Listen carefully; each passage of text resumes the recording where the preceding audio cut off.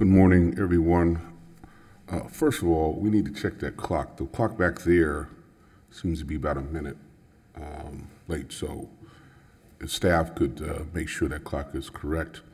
Uh, I'd like to welcome everyone to the Mayor Commission Work Session. Uh, Today is November 22nd, uh, 2021, and the time is 10 a.m. And uh, the first item on the agenda is the discussion of the Transit Village project, an overview and update. Mr. Rugg. Good morning, Mayor, City Commissioners. Chris Rugg, Executive Director of the Community Redevelopment Agency. It is good to see you this morning. So, Mayor, m- may I just say one word before he gets started? Oh, yeah, yeah. Just briefly, just wanted to say that this request um, was prompted by the recent uh, vote on the extension of this project and, and really just looking for an overview. I know it's been a long time since this first came to us, although we have had some updates along the way. And so just wanted us to be more familiar with the project as I hope it's moving forward and, and getting closer to um, starting to work on it. So thank you so much. wonderful. Um, and uh, that's great to hear, Commissioner, because that's exactly what I've prepared today. Um, this, Glad we're all on the same page.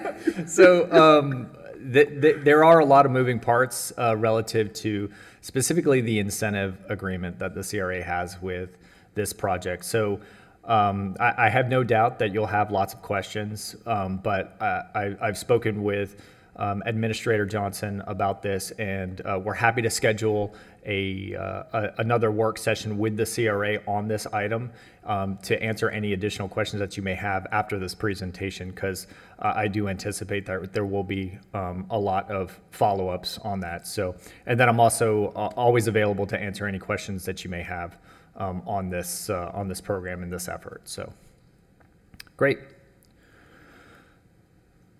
So, uh, Transit Village uh, is a very ambitious project, um, but uh, has recently um, uh, attracted some additional investors um, with, uh, in addition to uh, Mr. Mazanoff. Um, uh, many, many of you may have seen the article that is in the newspaper with related companies out of Miami that is now um, uh, involved in this project, which is really great because they bring just a tremendous amount of expertise, I think, um, to this project. And we actually had a meeting with uh, Mr. Mazanoff and the representatives from Related um, probably about a maybe about 10, 10 days ago now. Um, and it was a very productive meeting. So um, it's, it's encouraging to see uh, such uh, professional um, you know, talent being brought forward on this. So, anyways, uh, I'll go over a quick overview of the project just to kind of bring you up to speed. High level details on what's involved. Um, this project is entitled, so um, it, it, it can pull a building permit. Um, there's a lease agreement that's associated with it, uh, mainly on the west side of Tamarind Avenue, which is the Seaboard train station parcel. Um, the incentive agreement, which has a lot of the moving parts. Good morning, Commissioner.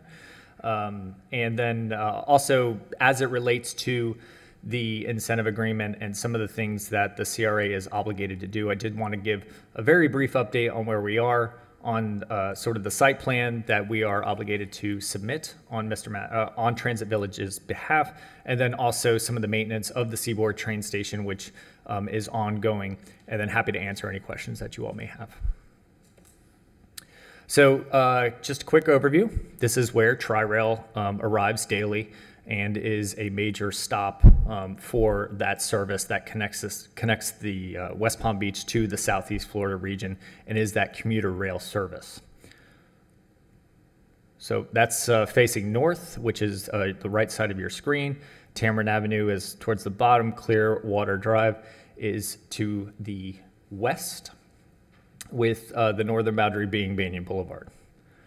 The parcel that Transit Village predominantly is going to be built on is that wedge parcel that is owned by the county um, and, and uh, is uh, leased to, I, I believe it's leased. Uh, they have an agreement. The RFP is, is with Transit Village and the county. And then the red parcel is the one that is owned by the city, uh, which does have a lease on it uh, for improvements. And then where the star is located is the historic Seaboard train station, um, which is uh, a, great a great building and uh, historic part of the city. So Transit Village, um, as I mentioned, it has a lot of different components to it. Um, currently, what is approved by the city uh, involves uh, residential, a hotel, um, quite a bit of office space um, that, uh, that, that is located with the project, um, but also a tremendous amount of civic use, um, which I'll get into a little bit more. Um, again, just high level details, but um, there is a component uh, that uh, the incentive agreement is used um, in order to help pay for that, that civic use and that public open space. So the lease agreement, uh, again, which is this parcel along uh, Tamarind Avenue uh, that includes the Seaboard train station, was originally entered into in 2018. Um, the whole purpose of this was the idea that the Palm Trans service could be relocated onto this parcel. And that was really something that um, I, I think has been reviewed and looked at several times as um, either a potential temporary and potentially permanent relocation of that Palm Trans service um, to the uh, to the west side of Tamarind Avenue in order to just improve functionality and things like that. Um, I really can't comment too much on the traffic or if that's a good idea or not. Um, that is something that really involves engineering, but um, that was the purpose of leasing this uh, this parcel. Um, that was amended last year, August 5th, 2020, and with that um, with that amendment, uh, we agreed to do the site plan, uh, which is what we're currently working on, um, but also included that maintenance requirement that uh, deferred the. We would start working on the deferred maintenance assuming that we get reimbursed for both that site plan and that deferred maintenance um, once the project is under construction.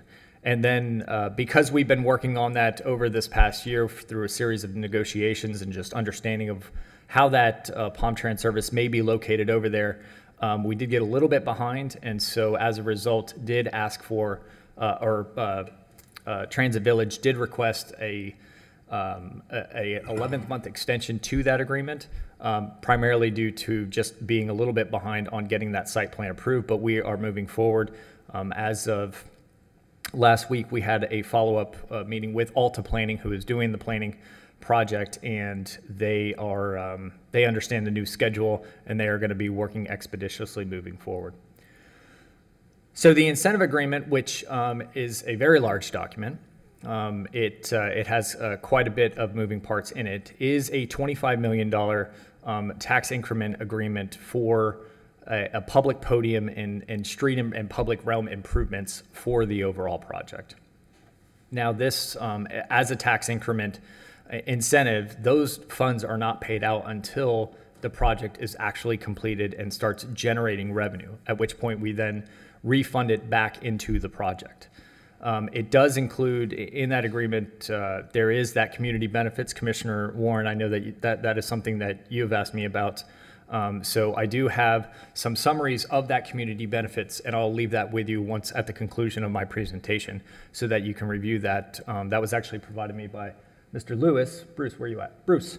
Um, he, uh, he was kind enough to provide that summary to me. So I, I will share that all with you, but it gets into a lot of the different things that uh, include items such as um, uh, the the street improvements, um, but also has some workforce uh, workforce housing components, uh, job uh, job requirements as far as hiring locally and things like that. So, um, and this was that that package was directed. Um, by this board back in 2016. So that was something that the CRA was pretty cognizant about moving forward. Um, in this incentive agreement, it's important to note that the lease of the parcel, and this is where the CRA and the city get connected, the lease of that parcel on Tamarind Avenue is mentioned in this incentive agreement.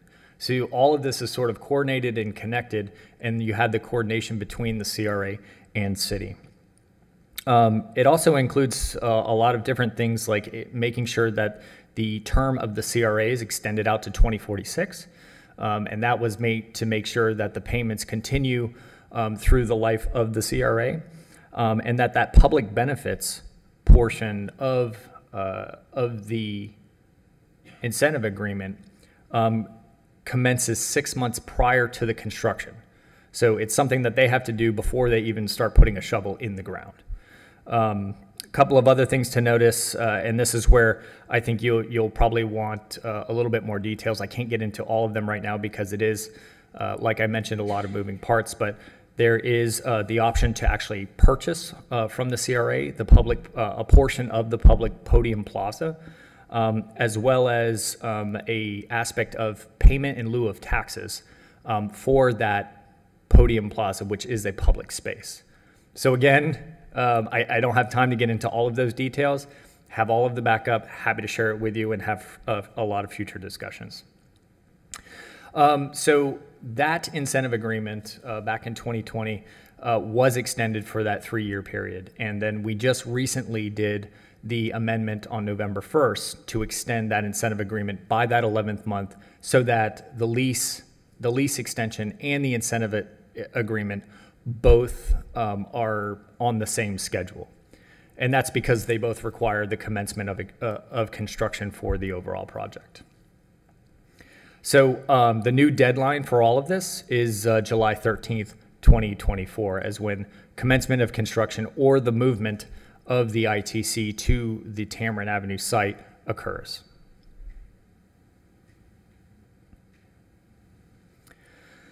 So now, uh, just want to talk a little bit about where we are with those two obligations that we have under uh, the recent amendment. Um, again, this is the amendment that happened last year where we took on the obligation of submitting on behalf of Transit Village the site plan for the Tamarind site.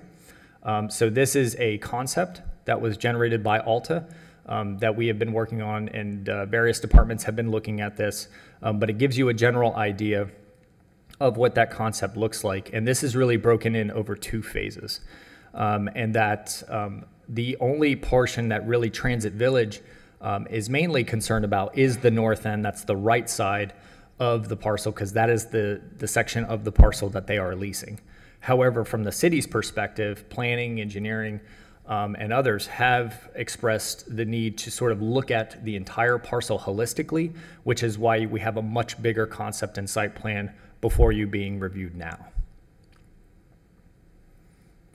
And currently, Transit Village, um, it, it's the, the cost for their portion of this is about $67,000 $67, currently. And so that's what we would ask them to reimburse us for on the maintenance costs, or I'm sorry, on the site plan costs. On the maintenance, um, it, you know, being any historic building, there's just sort of general requirements that are, are, are needed to just make sure that that building stays up and running.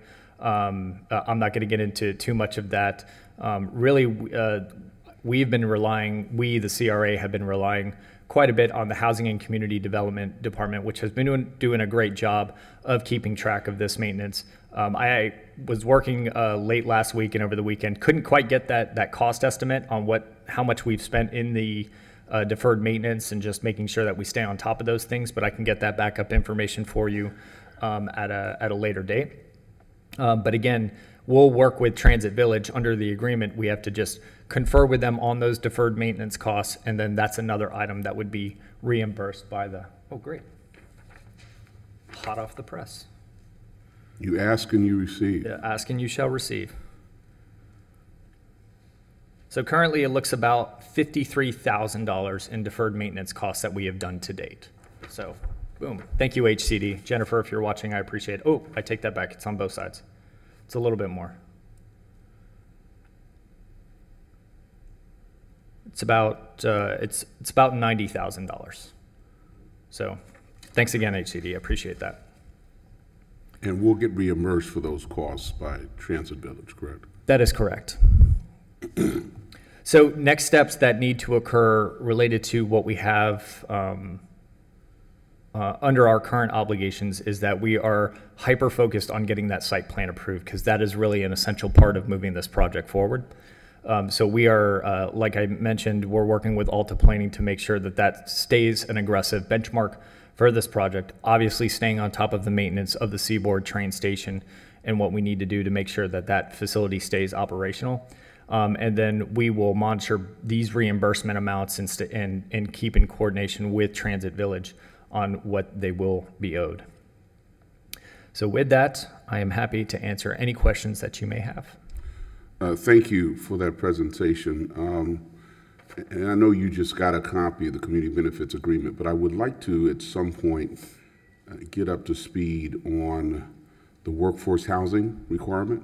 Uh, Clearly, as our city continues to grow, uh, workforce housing is even more uh, important. So I'd like to see what we have uh, uh, already in the works, or at least been promised by the Transit Village team.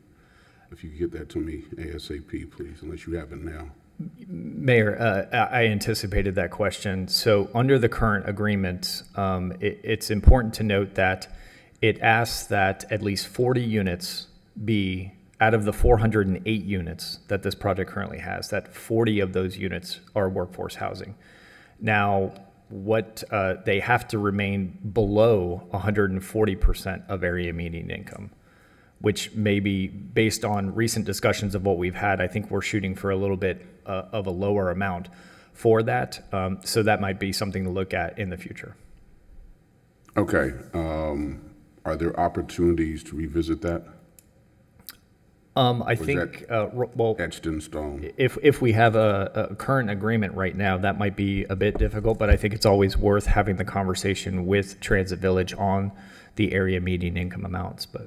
Definitely, Mayor. If the uh, agreement provides the specifics, it would have to be uh, subject to negotiations. Okay, uh, and not only the uh, median uh, uh, AMI, uh, but even the number of units, uh, 40 units out of 408 uh, in a transit-oriented development, that's only 10%. That seems low. And hopefully, we could find an opportunity perhaps to increase that number uh, going forward. But you and I will talk about that, Mr. I- I'm, I'm sure there will be opportunities when Transit Village comes to us looking for something, and perhaps we can um, have that as part of our discussion. Questions from commissioners? Commissioner Lambert? Thank you, Mayor. Thank- Thank you for bringing up um, affordable housing and, and the discussion on how we might be able to bring that up in the future.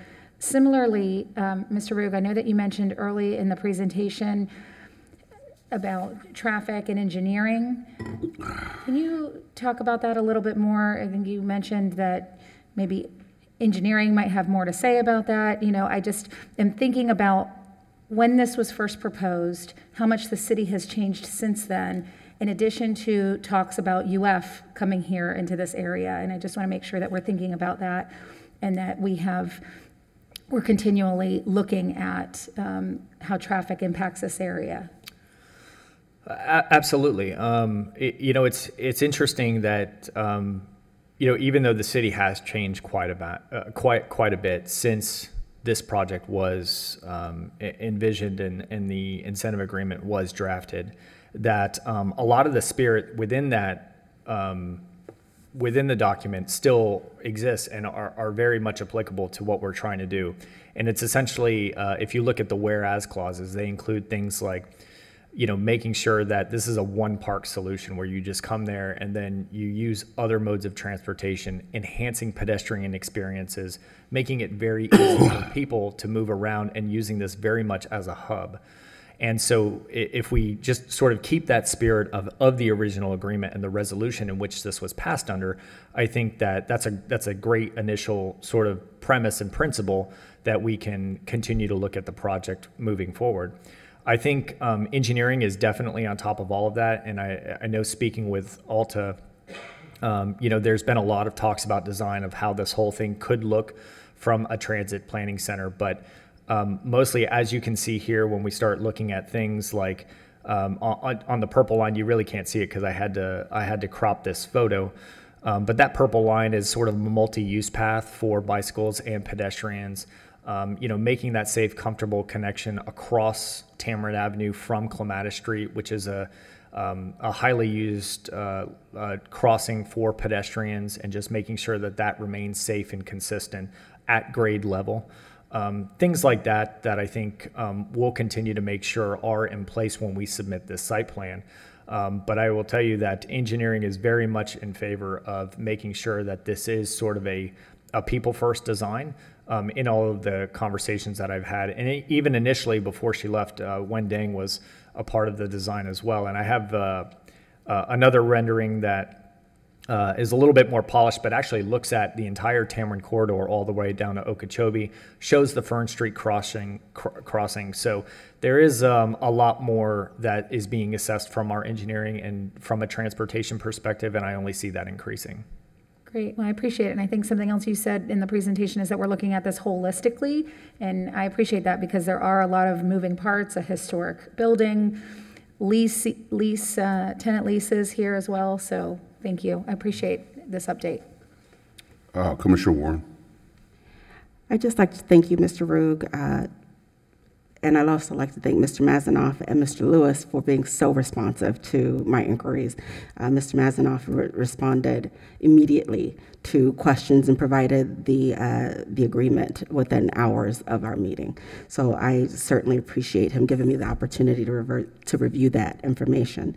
Um, thank you also to the mayor for your emphasis on workforce housing and the fact that this is such a priority for the community. And I, I think that it's a higher priority than we've, we, than we've seen in recent times. So I, um, if any opportunity that we have to review, um, perhaps increasing that, I think would be beneficial to the entire city.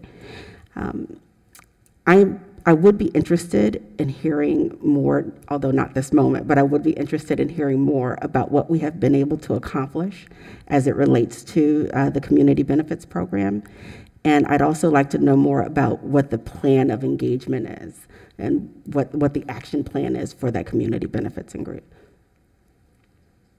So um, a, a couple of uh, of noteworthy points, Commissioner, to to what you had just mentioned is that um, in order to implement this program, they do have to put together a, uh, a committee that involves uh, some not-for-profit organizations and um, and consist of representatives um, of some of those community-based nonprofits um, before they they get that off and running. But they will have that implementation, and then the other um, po- uh, component that is worth noting is that they have to actually retain a coordinator to make sure that a lot of these aspects are in fact implemented um, as part of the, the developer's obligation. So that's a couple of things I think that um, are worth pointing out um, and uh, a variety of other items that uh, I'm happy to share with you as well.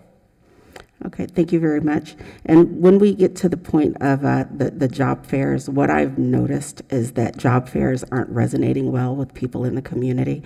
So I would like to challenge you to come up with uh, a creative way to um, to advertise those opportunities. And I, um, I'm hoping that they're inclusive of uh, reentry citizens, and that we emphasize uh, training to be able to help people build their skill sets and their resumes. Understood. Thank you. Commissioner Fox. Thank you so much for bringing this to us. I live only a couple blocks away from here, and so I'm very excited to see this area um, really thriving. And I think right now it's dark, it's not as clean as it could be. Um, there's a lot of um, convenient parts to getting on the tri rail, but I think not as many people are utilizing it because of just some of those safety issues. So I'm really excited about this. I know you mentioned that you might be coming back to us for an, an update, more or further presentation. I'm just wondering if you can have possibly someone from engineering come and speak to us a little bit about the mobility that they're looking at. I think we have talked so much recently about the tent site and how that at one point was thought to be maybe a mobility hub. And I have always thought that didn't make the most amount of sense because living in New York, for example, you would have Grand Central or something. You'd take the train and then maybe you'd go out and get in a cab or go downstairs and get on um, a subway. And it makes the most sense to me to have the transit hub where we have the transit. And so we already have so many of those items here, knowing that Brightline is only a couple blocks away. But that also we have this thriving city with people coming here every day that we're looking at what are the other options that we could have, whether it's you know, buses down Okeechobee or you know, metro rails or people movers or whatever the ideas are. I know that there's a lot of talks about that now, but you know, I think that this location would be the ideal place for other opportunities that might be coming down the road. And I don't know what kind of space there would be here or what if some of those are already being thought of now to incorporate in this. But it would be great if you come when you come back if we could have more of an update, possibly from engineering, about some of the things they're thinking about, or um, just how they anticipate all these things moving together. Thank you so much. Commissioner Warren? I don't know if I mentioned this already, but I think it's worth noting again how wonderful it is to look at an opportunity to transition from a brownfield to a greenfield. That's a huge, huge thing. So I just really wanted to bring some attention to that. Any other questions, comments? All right, thank you, Mr. Rugg, for that presentation, and uh, we look for, forward to future conversations. All right, the next item is Howard Park Community Center architectural designs. Ms. Rockwell.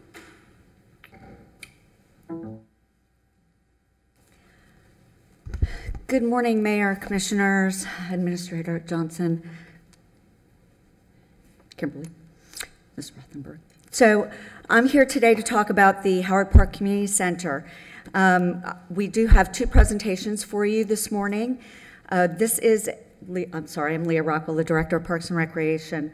This is a penny sales tax project, just to start you off with where this funding is coming from. The funding is just shy of 5 million for this project. Um, We've had a great deal of public engagement, including online surveys, um, park intercept surveys, uh, gathering information. We've had a presentation actually in the park as an event so that people can come out and actually feel the designs while they're actually standing in the area where the community center uh, is to be placed. The existing community center was built in the 60s.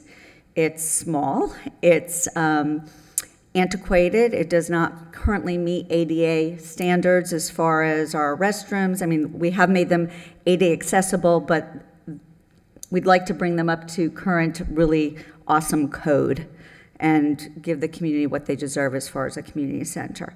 I'm not going to go on and on. I'm going to let our two architects uh, provide information regarding their two designs. They are very different. And that's why we're here today, because the community themselves could not give us a definitive answer as to which of the two designs they preferred. We did take it to the Parks and Rec Advisory Committee. They do have a recommendation of which one they prefer, but I'd like for you all to take a look at them before I give you PrAC's recommendation. And uh, with that being said, I'd like to, um, who's, who's going first? Do we know? So let's go alphabetically. Um, Alfonso Hernandez, architects. We have Alfonso Hernandez who will present his um, design. So come on up and let's get your design set up and ready to go.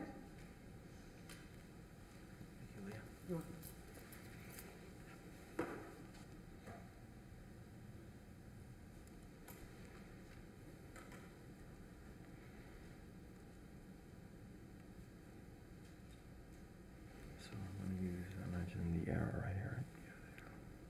Okay, got it. Okay, uh, well, good morning, uh, Mayor and Commissioners. Thank you very much for this opportunity uh, to be able to present this project. Um, If it's okay, I think I might be allowed to remove this for now.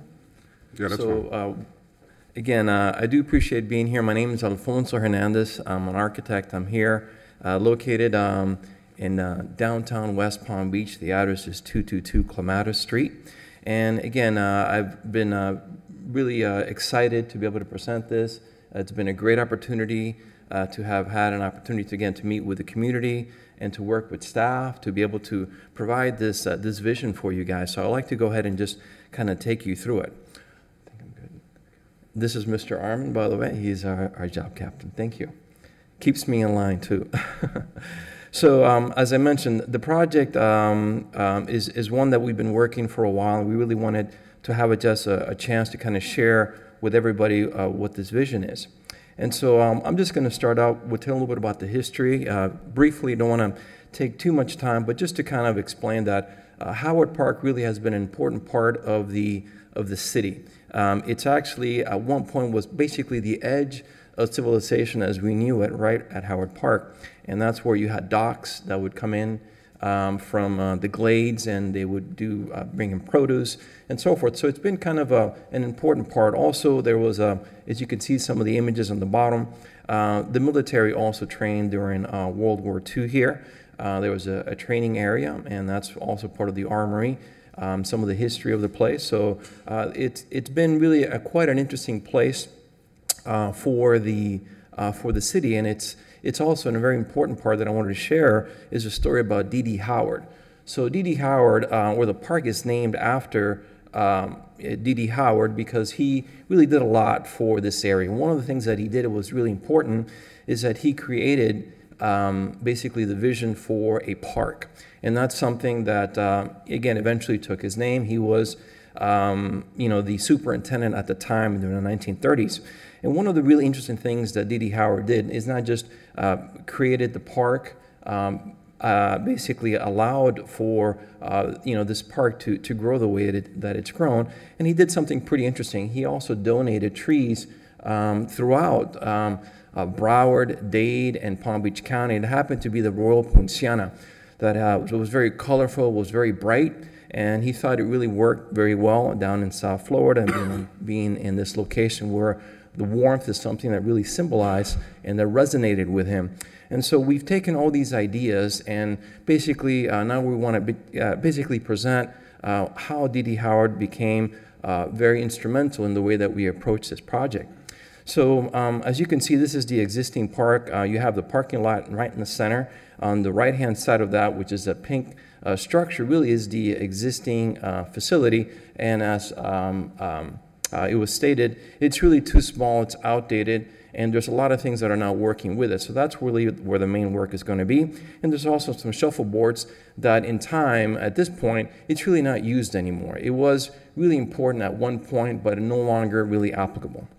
And so as we continue um, in the design, then that's basically the focus.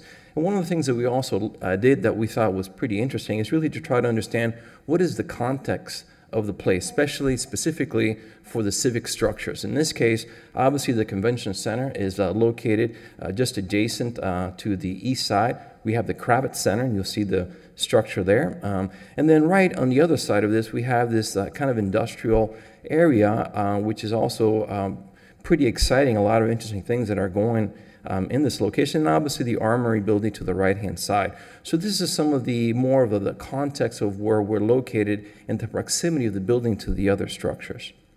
Um, and now, as we start looking at the building, um, one of the areas that we were looking at, and as uh, Lee had mentioned, is that there is uh, a limited amount of funding for this particular project. So in this case, we have the existing building, which is very close to Parker um, Avenue. And on Parker Avenue, the, a great place for it is because basically it keeps the cost low. Uh, we're not destroying the parking lot, we're not destroying other areas, so it really made a lot of sense for it to be located in that particular location, and that's what we had proposed. And in this case, we have an open green area that's uh, uh, right in front of it, so it may be a great opportunity for, let's say, events to happen in, in those places. Um, so moving on, let's say as we look at the building, again, one of the things that inspired us is, again, D.D. Howard and the Royal Poinciana. And so here, in this case, we'll see the, uh, that beautiful flowering tree that's located along um, Parker, which is where we're proposing to have it. And so um, the structure is basically, uh, it's basically wrapping or, or hugging let's say, the tree and basically embracing the community. And that's what this gentle curve really means to do. And so the building itself uh, has a lot of interesting ideas and functions, and really the idea is to bring community together. And so in this case, as you come through, you have obviously uh, the entrance desk, uh, a little bit of a sitting area, and the item number two there you see uh, highlighted is, is a cafe, so that the community now, you know, as uh, these days are different than the way it used to be. People now get together in cafes, be able to enjoy refreshments, etc. So we have that included. And then obviously there's other functions in there. So there may be a gymnasium uh, location, and it really something that potentially could develop even further uh, depending on what uh, the needs of the, uh, of the community, and in this case working with staff, it may change. And then um, a little bit further to the right is going to be basically an area where, uh, let's say, folks can potentially lease out that space for a party. And so it becomes really um, a very a nice social area as a banquet room, and it's got a small kitchen as well that can service the area. And so on the other side, on number 12, is really where the community has a multi-purpose room, and they could do different, uh, uh, let's say, events and different things that happen in there. So there's a simplicity in the envelope in order for us to reduce and try to keep the cost low, but at the same time open, um, so that allows for a, a very interesting let's say uh, a very strong focal point as you approach the building. So as we come, as we continue in through the design, as I mentioned, one of the things that's very important to us is how, how what do you want to feel as you come into a park? And so one of the things that we're very interested in is looking at nature itself and, and the relationship of a building and people to nature. That's why we go to a park.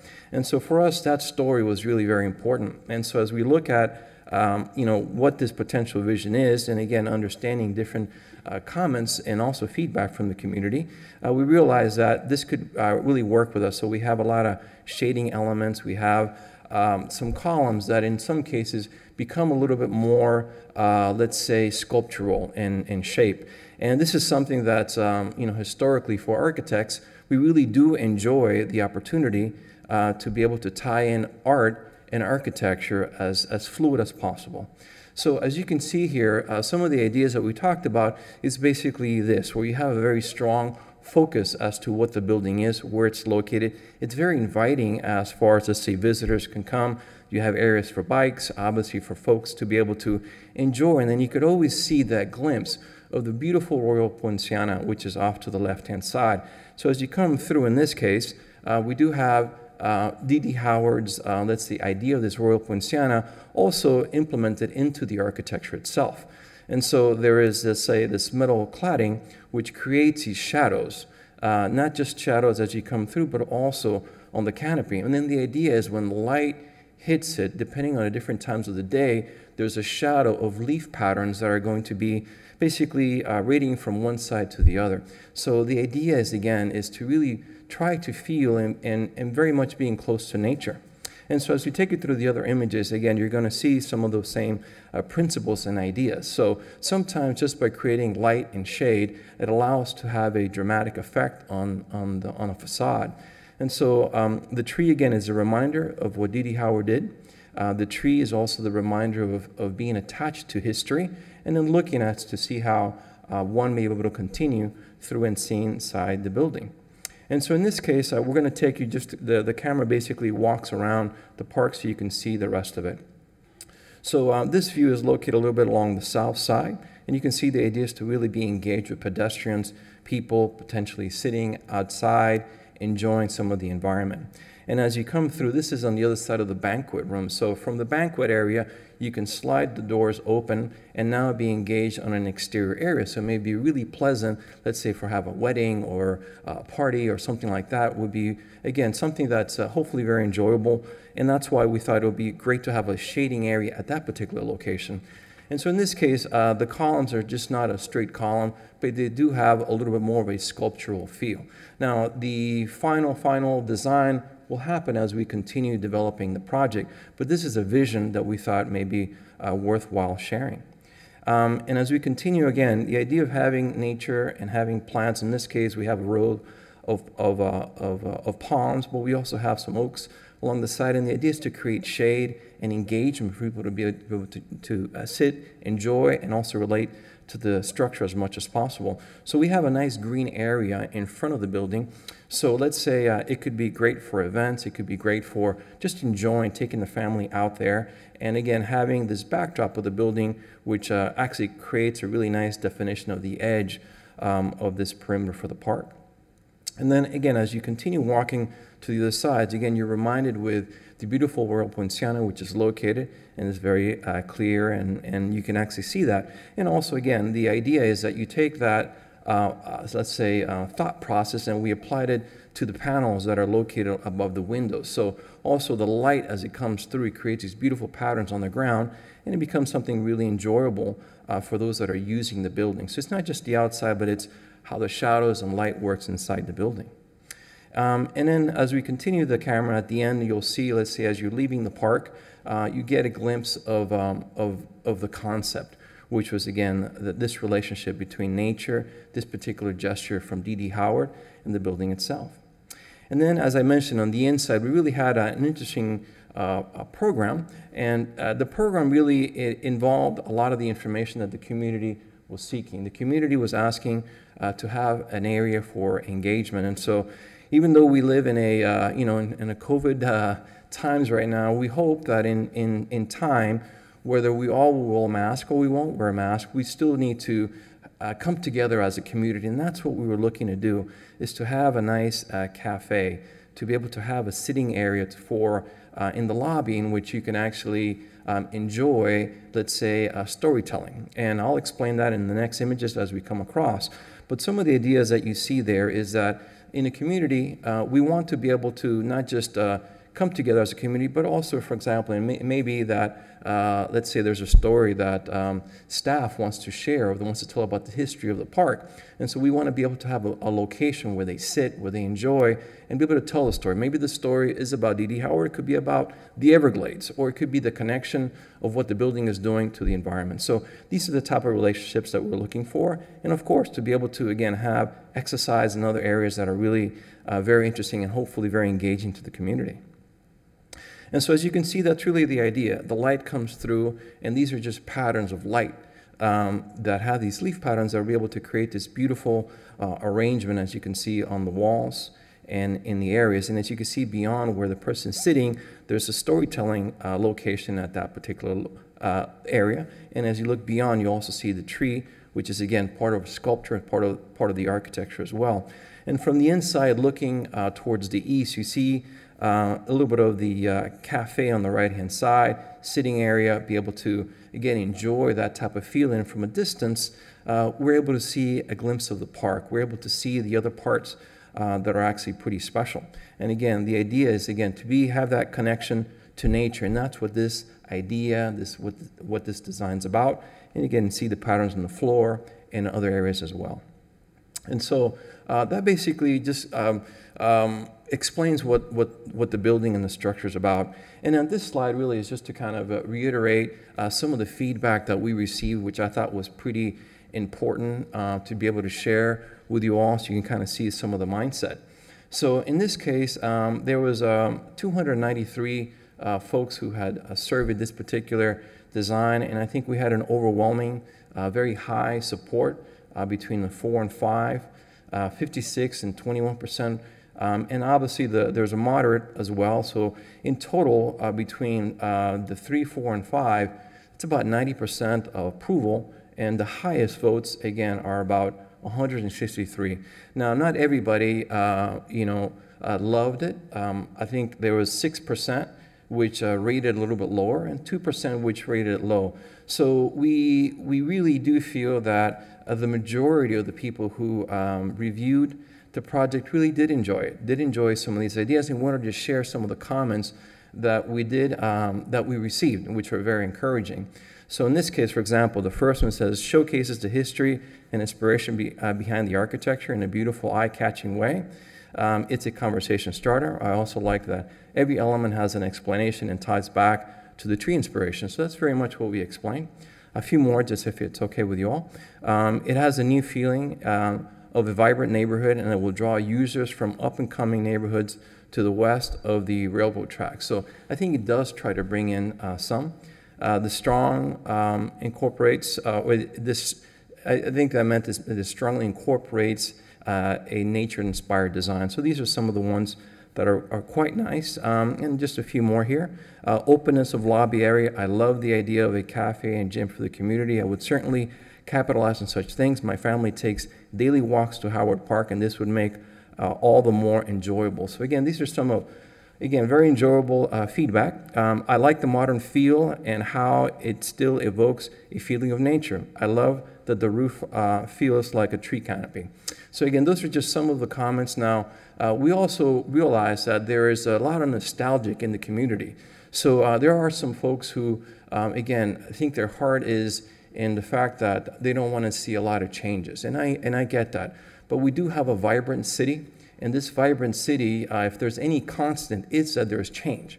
There's always change. So um, I understand and I'm willing, very, very, I'll be very eager to work with staff to make sure that we can incorporate um, all the, the feedback as much as we can.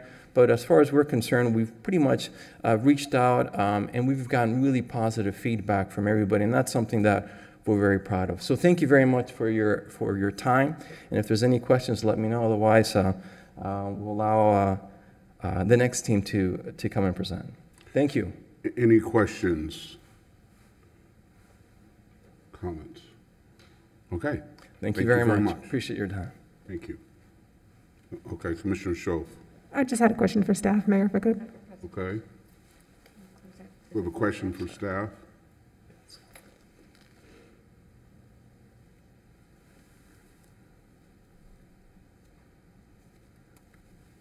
Thank you, Thank you, Alfonso. So, um, moving I have a on. question from Oh, I'm sorry, Commissioner Shoaf. Commissioner Chef. Thank you very much, Leah. I was just wondering, on the presentations that we'll be seeing today, was there a budget presented to architecture so that the, the pictures that we're seeing would be very executable according to the budget that we have? Yes. So where we're at right now is, these are conceptual designs, and when we make a selection, hopefully this morning, um, on the final architect that will move forward with the project, they will design to the budget. So based on, based on what they're presenting today. Okay, so the pictures being presented today are Yes. reasonably within a budget Yes. with some options? Okay, thank you. Yes, but I, there, I'd like to just also say that, um, we are in different times right now. So it's a, there are some moving targets with the cost of products and services that are, we're having some issues with as far as construction goes. But by the time the designs have been completed, we're hoping that, of course, some of those costs will have come down. Sure, and certainly understand the, the construction budget constraints. I've had some professional calls just like that this morning. Um, But as we're looking at it, these are executable. We're not looking at anything that, uh, there were budget parameters given. Yes. Yes. Thank you. Commissioner Lambert. Right. So, and they did, both teams did provide us with preliminary budgets based on the designs, which we insisted that the budgets and the designs were within our budget. So, Commissioner Lambert. Thank you. Just a quick question about the contents within the community center. Did you give direction on that, or was that up for interpretation by each of the designers? The community actually gave the input as to what they'd like to see within the community centers as well as staff. So we spent a great deal of time um, providing different surveys from the community and deciphering that information, as well as they heard directly from the community at our different engagement outreaches. So the space that we've asked that's being designed is um, space that it can be changed. For instance, um, on Alfonso's design, he had a banquet room, which really is also going to be a multi-purpose room that can be used for a variety of things, not just banquets. He just happened to have it set up as a place where you might have a wedding or something like that. So all of the spaces will be able to be utilized in a variety of different ways, like most of our community centers. Does that answer your question? It does. Um, I guess I didn't realize we would be selecting. So is that what we're doing here? We're serving as a selection? That's what, that, that is what we're asking, is that you help us make that decision because the community themselves could not make a decision. So now we have to go above the community, which would now be the city commissioners and the mayor to give us direction as to which architect to move forward with. Okay. All right, I didn't know we were selecting either. And the question I have for the city attorney, since this is a workshop and not a formal meeting, whether I'll that let the, is. yeah, I'll Okay. let the city attorney, but we, we didn't tee it up as a special city commission meeting wherein you all would be making the selection. We teed it up as a work session where we can get input from the board on preference. So this is not a formal selection, we're just offering Right. input. Input, yes. And no, you don't, you do not vote at your um, work sessions. So, so, right, so we're just gonna talk. It- Correct. Yes. We're Yes. not gonna have a formal motion and second and actual formal vote, right? Correct, Mayor, no votes. Okay, all right, thank you. Moving Okay, any other questions for staff? Okay, next team. So next we have CPZ Architects, Chris Zimmerman and Joseph Barry. I don't know which one is going to be giving the presentation today. Um, Just as a, a point of reference, they also did the Fire Station 4, which is adjacent in the park. So we're going to let them give their presentation now.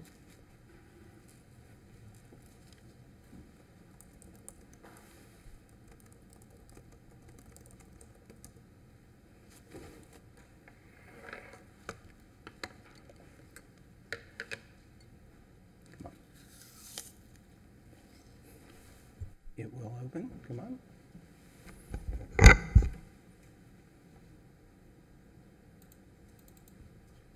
There we go.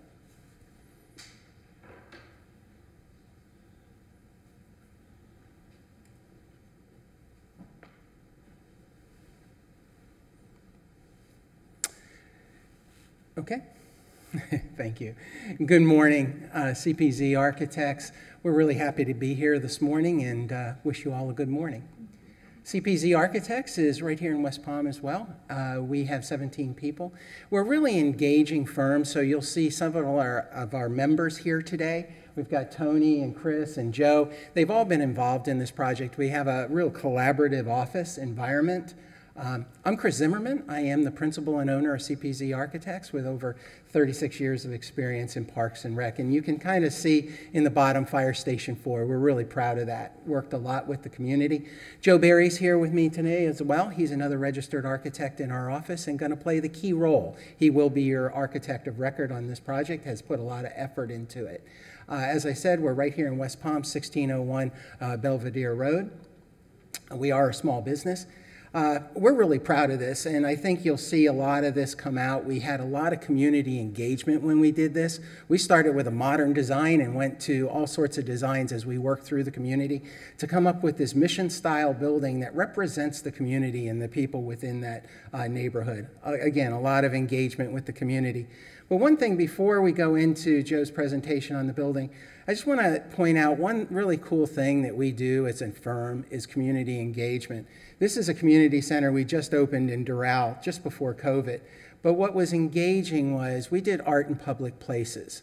And we actually brought a blacksmith in, and the city set up community engagement in the park. And they, they did blacksmithing. And when they worked on this, they, they created these leaves and pieces of a sculpture that are now, um, you can see everybody got their hands dirty. It, it was a great weekend.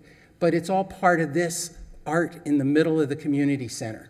So it, it's that kind of thing that, that CPZ really likes to do. We give back to the community with uh, memorials and things like that. So I uh, just wanted to just kind of say who we are. Uh, and with that, I'm going to turn it over to Joe. He's done a lot of work on the project and can introduce you to you, the project.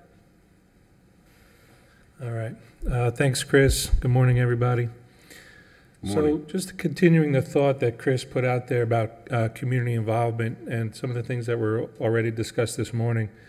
uh, One of the first parts, uh, or how we got introduced to this project was uh, through the RFQ process. And in that, there were uh, surveys that were provided to us that the community was um, part of. And some key words kind of repeated themselves. And you can see some of them here, you know, community, uh, neighborhood events, art and public spaces, paintings, education. Uh, so these kind of things are what led us to the direction that we went in the original conceptual design. And then we continued that thought process throughout. We met with the community back in, I think it was July, and we had a presentation, both firms did. And we met with the community and we shared with them our thoughts and our renderings and our ideas on the community center. And we asked questions, and we got a lot of, lot of feedback. Again, uh, second survey went out to the public, and, and we listened. You know, and some of the things that we, we heard pay homage to the neighborhood, relate to the park, indoor outdoor relationships. Uh, security was a big issue and, and a repeated thought that, that uh, came up. And a lot of people like the traditional style architecture, keeping in with the neighborhood. And as Chris said, when we did Station 4, through that process, we originally started with a modern building. The community led us to the design that you see today. Budget awareness. We talked about it earlier. Leah brought it up. Yes, we are aware of the, the, the city's budget. And through the process, we brought in professional cost estimators. And we worked with them to develop this budget. We kept in mind that um, in order to help maximize the building and minimize budget impacts, we looked at tr- traditional construction materials and methods. We also looked at repurposing some of the existing community center, and you'll see some of that in the slides to come. We visited the site. we, we took notes on uh, things that, that we sort of noticed. And one thing was there are many points of entrance to the park. And one thing that maybe we want to look at is incorporating a common gateway, a theme, so that there's a, a sense of arrival at all of these various points. The first thing that we did when we saw the RFQ, when we read the, the, the client, um, sorry, the uh, neighborhood comments, was deciding on where to position this building. We thought that leaving the parking lot where it is made sense, both from a budget standpoint, but also from a functionality point of view. We thought of this building as not just a building placed on the park, but a building that's part of the functions of the park, integral with the park. We looked at how to maintain a great level of visibility for security reasons so that we have clear line of sight through the project. We incorporated the existing roof trusses of the community center and refurbishing uh, the restrooms that exist there, uh, repurposing those trusses into an outdoor pavilion. You'll see some renderings later on. In terms of the building, there's a 9,000 square foot building that's proposed. Uh, 6,600 square feet roughly is indoor space, another 2,400 square feet of covered porch. So what this does, it helps us bring the indoor activities out, outdoor activities in. There's that relationship between the building and the park activities.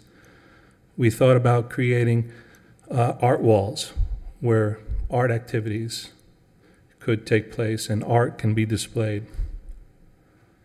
There's a central point within the building at the reception where one single person can have full visibility of not only the building interior and the functions that are happening there, but also views to the outside.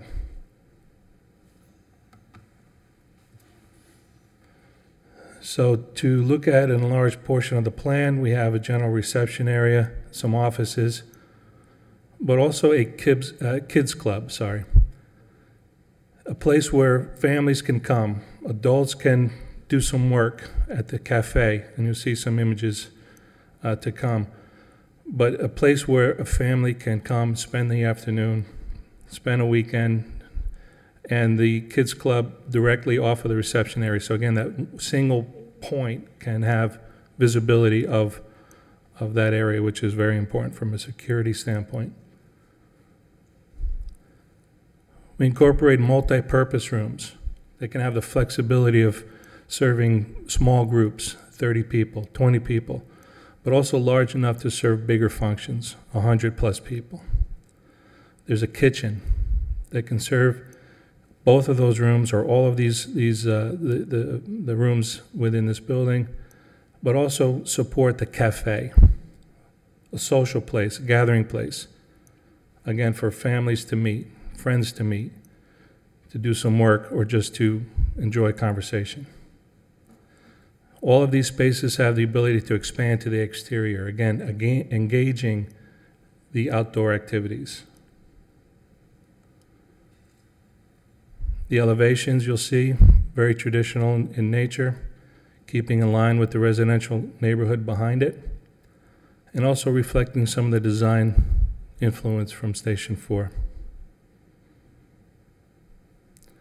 The top view is a view from Parker Avenue. The bottom view is from the lawn looking west. Again, top view, north elevation looking south. Bottom view is that looking north through the Great Lawn area. You can see in that bottom image, even in the top image, the transparency through, functionality through, the visibility. This is a view heading up Parker Avenue. You see the outdoor activity area uh, to the right, pergola area, an extension of that multipurpose room. And then the northwest corner is what we're calling the gateway. The gateway not only to the community center, but to the park. Because again, it's not just a building at the park, it is the park. And we like the, the, the concept of, of, of incorporating all of those current activities and supplementing it with this building. So as you enter, you're outside, you're in the park, you're undercover. You have the community center on your right with a lot of glass. That glass is undercover, shaded. A sustainable thought process there. As you enter from the park, this is a view from that existing gazebo, roughly in that area. You'll see the open pavilion on your left. You see the open activity area on your right, where yoga classes, painting classes can occur outside, undercover. The pavilion, repurposing the existing community center trusses, creating an outdoor space. The restrooms on the east and west of this are existing. They're interior space now. We can refurbish those and use them to help support the park activities. The lawn area. Families can gather, activities can take place. If you see that, that Howard uh, mural, it's a, a, a homage to the existing building and some of the community uh, participation in creating that. This is a view inside the reception area, looking through the glass. You can see that center lawn area, again, bringing inside out. The cafe is in the background. A view looking through the cafe, again, to the exterior layering these activities both inside and out. A view of the overall. You can see we even paid attention to where we would put mechanical equipment, both from a constructability standpoint, budget standpoint, and not to have equipment on the ground. We would put them on the roof. At a site, easy to maintain, and efficient in the way we distribute those services to the building. And Chris? Thanks, Joe. Just in closing, um, we're, we're excited about the building. We, we think it, it really responds to the community and the park, pulling it up on Parker Avenue and opening that up to the lawn and creating those community spaces that really engage families and kids and an art festival or something, that the building becomes an integrated part of the park. Uh, I think that's what Joe was trying to, to really push here is that we kind of kind of forwarded it up on Parker and used that land as it moved forward.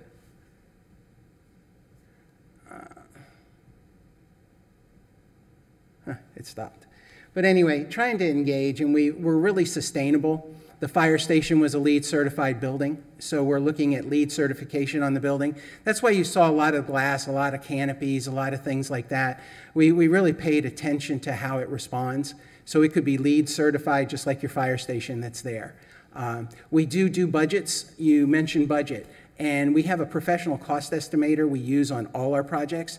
Matter of fact, they, we use them with the CM at risk on your fire station just to make sure that the CM was pricing your job appropriately, and they were within 5%. So it was a good, Hedricks did a good job on that, that building. So, and we actually value engineered that building and saved a half a million dollars on tilt wall. So working with that really, really paid off for the city. So we're, we're looking forward to another great project on that park, and uh, thank you for your time. Thank you. Any questions for this team? Okay, thank you very much. Thank you.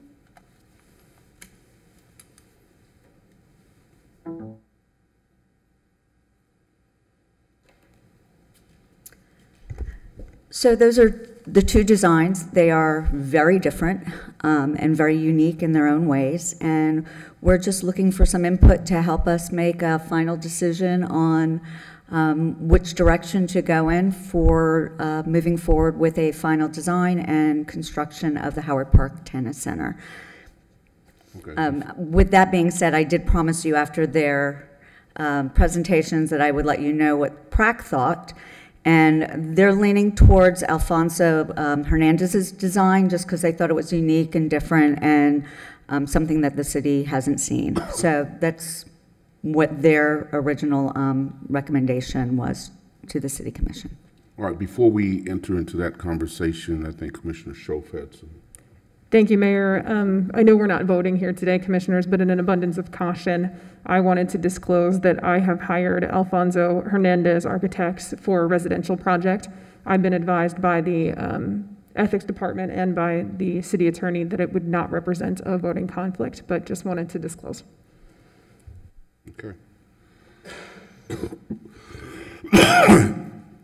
Excuse me. All right, I don't know how, okay, we got a couple of hands up, so it looks like it's going to drive itself. So we'll start with Commissioner Fox and then Commissioner Lambert. Thank you so much, Leah. I just had a couple logistical questions. I know both of the proposals included a cafe, and I wasn't sure, was that something part of the RFQ? Is that something we would operate, or that it was just a cafe where people would sit and bring their own drinks, or I- just wanted a little bit more background. So the, the idea was, um, it, it was thrown in there as one of the items for them to consider in their design process. With people now working remotely from home, uh, as it has become more of a norm, we felt that having a cafe where, an internet cafe, where people could come and sit and uh, maybe work while their kids are in a, a two-hour program or something like that would lend itself to a really nice uh, space for our community, as well as we were told people walking through the park always think about they'd like to stop somewhere and get a cup of coffee and sit and because there's some beautiful trees in the park. So there there have been requests for something like that at the center.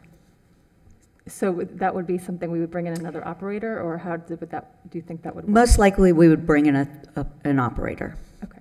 And I just wanted to clarify one more thing. Did- I'm assuming all the fields and the dog parks and everything are just left as they are? Yes. Okay, great, thanks. Commissioner Lambert. Thank you so much, and thank you to the two firms that presented today and, and for your continued work in our city. I think it's great. I know the works of, of both of your firms throughout our city, and it's both very, um, it's stellar, and I'm pleased to see that you're interested in Howard Park as well, so thank you. Leah, I have a question before I give my feedback on the um, designs. Can, when you say that the when you say that you got community input on it, I'd like a little, just a bit of a summary of the community input you got. I'm guessing that it revolved around what you just said, a cafe. I do recall, uh, it's been over a year since we started this process, you know, the community space was a big piece of it, but I just want to know what else you heard, uh, you know, an overarching summary of that. And then when you say the community didn't come to a decision on one way or another, what, what does that mean exactly? So we sent out a, a we sent out a poll uh, to all the neighborhood associations that surround um, that area, and we asked them to give us their thoughts on the two designs. And in getting their results, not one of the designs came out above and beyond the others. They weren't like, definitely we want to go with this one, or definitely we want to go with that one. It was just kind of like, it, they, they weren't, there was no commitment from the community. They both, they gave some, just what they liked about one and what they liked about the other and what they didn't like about one and what they didn't like about the other. So as much as we got a lot of input from them, we really didn't get a definitive answer.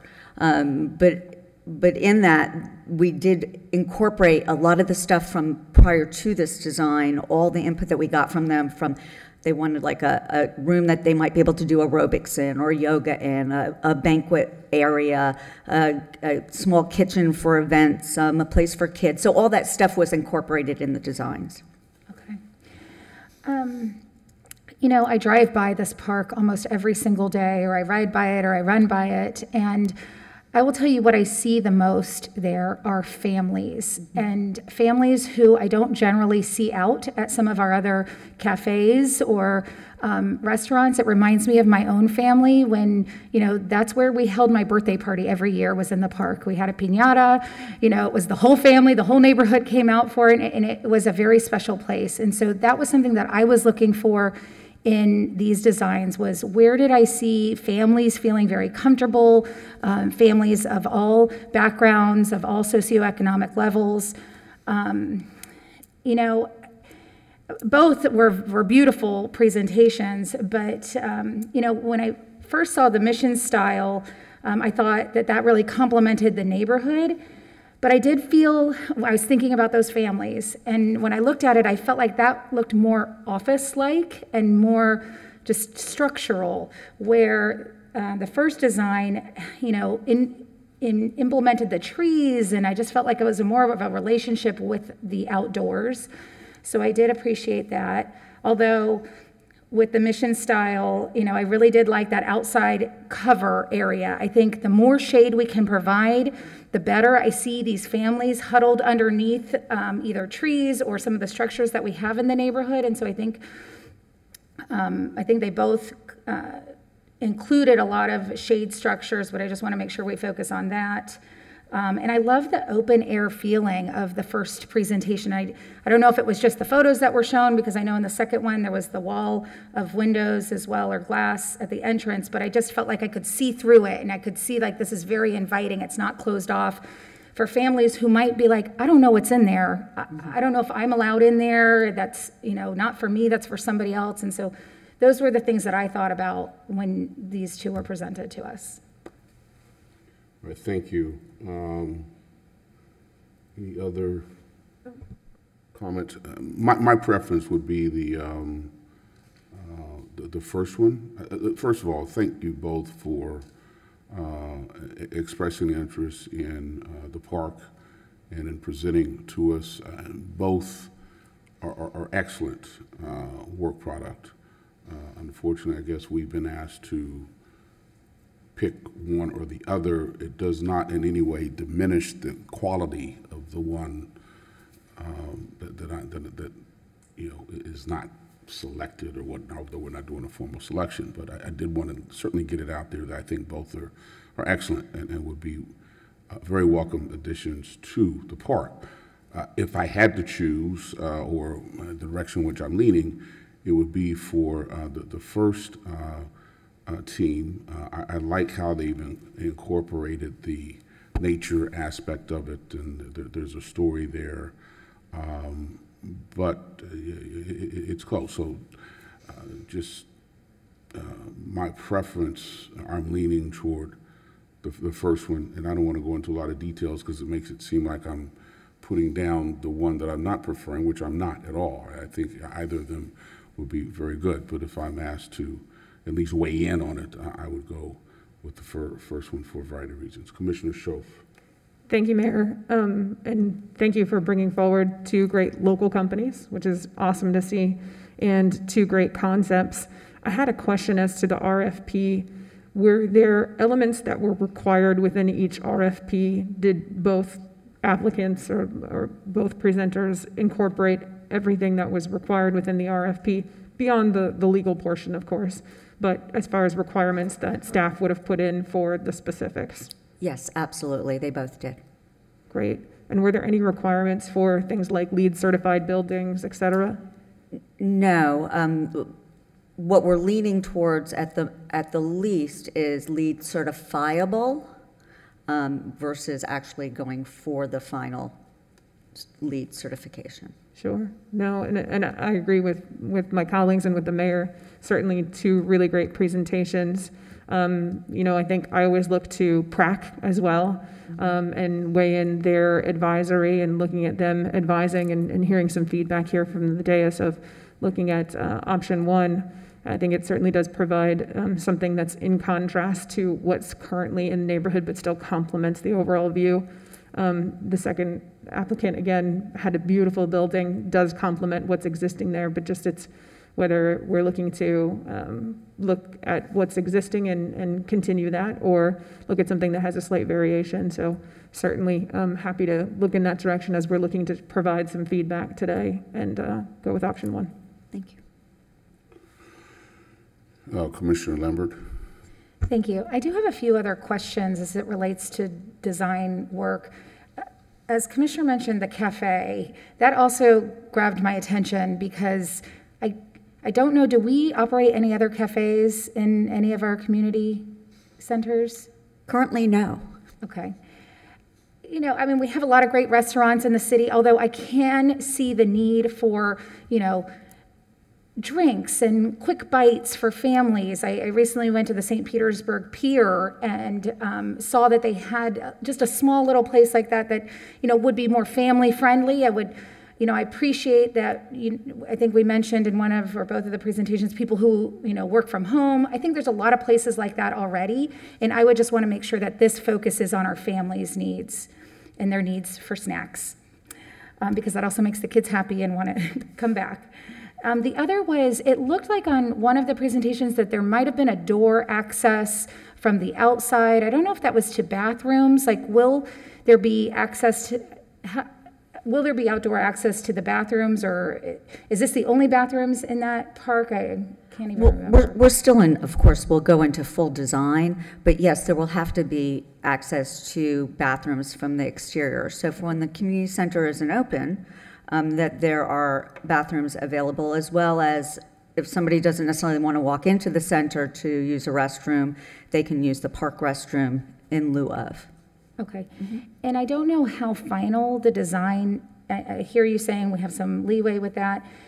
Something that I think would be beneficial to the community would be um, the ability to take a multi-purpose room and segment it. And s- instead of it being segmented on either sides of the building, that if it was extremely large and we could segment it off, and maybe it's always in half except for that once or twice a year when we need to have it larger, I think would be very beneficial.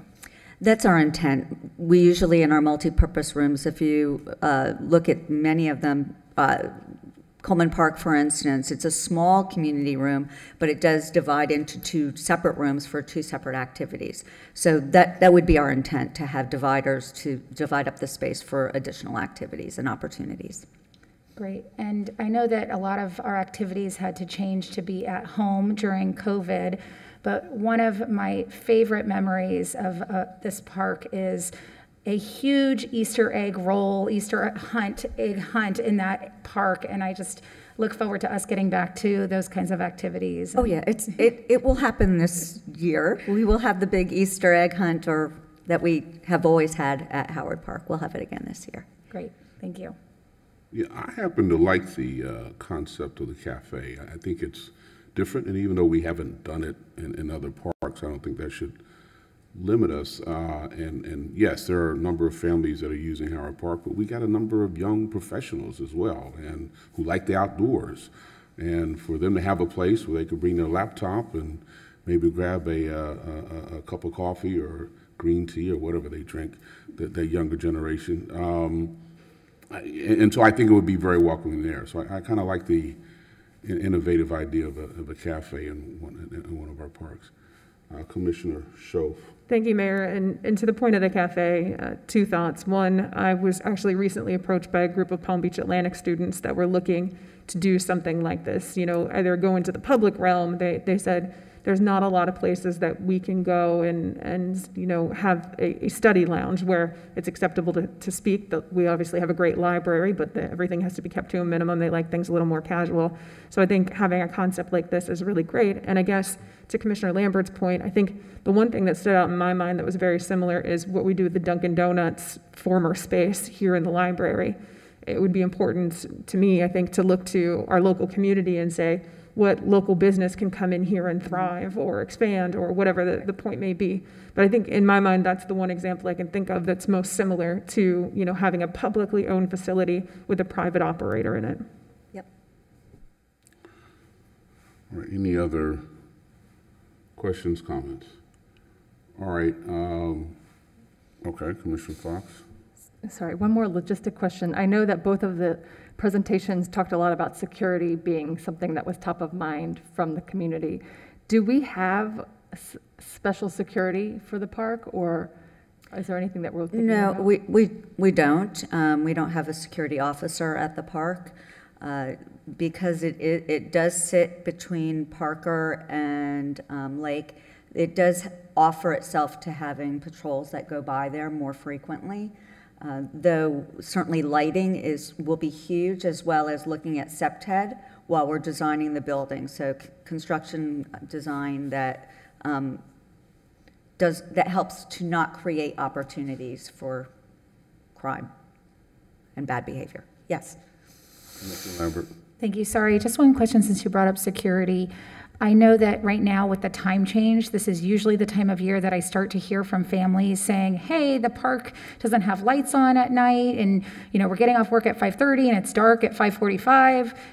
Did we ever remedy that or So, yeah, the playground itself, we, we added lighting to the playground, so Great. it is. You can't Well, the walkway lighting has been, has been upgraded, but we're in the process of um, lighting the playground itself. So we've created a safer way in and out, and we're in the process of upgrading the lighting to include the playground. Thank you so much. Thank you, Mayor. I thought the parks were closed after sundown. Um, The parks are closed except for uh, lighted s- facilities. So, for instance, a basketball court that is lighted would be open at night. A basketball court that is not lighted would not, that part of the park would not be open. Commissioner Shoaf? Thank you, Mayor. And, and just to summarize on this topic, um, Leah, because I know we have a number of parks that have penny sales tax projects associated with them, and some are in various stages. Can you just remind us what those projects are? So the, let's start on the south end. The Palmetto Park was a penny sales tax project uh, that included a new playground and some upgrades to the park itself. We are finishing up on just some of the minor um, concrete removal and benches that were there to put in some new, new benches and new seating. But that park has been completed as far as penny sales tax with the new playground. I'll make life a little easier, just to summarize, um, community centers, that way, because I know you have a number Well, of That that was the only one that's not a community center. Then we have the Howard Park, which is penny sales tax. Uh, Pleasant City Community Center was penny sales tax. We are waiting for a final um, permit for our, or, our CO for the electrical permit to pass. Um, There's an issue in the kitchen that once that's corrected, we'll be able to open the community center to the community. So those renovations have been completed except for that one element. So we're hoping that that's corrected soon. And then that inspection, electrical inspection. And then um, the other penny sales tax project is Coleman Park, which we're in final design and permitting for Coleman Park. And then we have also um, Gaines Park, which we will start with design on Gaines Park. Uh, We've hired an architect to take 30% design plans to 100, and then go out for uh, construction. Lots of great things. Thank you. You're welcome. Okay, any other questions or comments? Uh, Ms. Rockwell, do you have what you need? Yes, I do. Thank you very much for your input, and uh, we're excited to move forward with Howard Park Penny Sales Tax Project so that the community can have a great space to grow. Very good. Thank you. Thank you, and thank you again, both teams, for, Oh, I'm sorry, Mayor, may I? I just wanted to introduce Edna um, Benelli. She is our engineer on the project, and she has been holding our hands throughout this with the architects, and she's been a, a, has played a great role, and we're thankful to have her as a part of our team. fantastic. Thank you. Okay, um, any uh, matters for the good of the order, commissioners? I don't have anything. Okay, uh, well, this meeting is adjourned. Thank you all very much. Have a wonderful Thanksgiving, everyone. Thank you.